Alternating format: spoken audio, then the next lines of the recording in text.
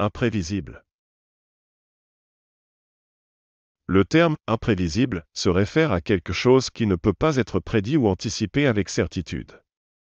Cela peut être utilisé pour décrire des événements, des comportements ou des situations qui sont instables ou qui ont des résultats incertains. Voici quelques exemples d'utilisation de l'imprévisible dans des phrases. Le temps est imprévisible aujourd'hui. Nous ne savons pas s'il va pleuvoir ou faire beau. La bourse est imprévisible, les prix peuvent changer radicalement d'un jour à l'autre. Sa personnalité est imprévisible. On ne sait jamais comment il va réagir dans une situation donnée.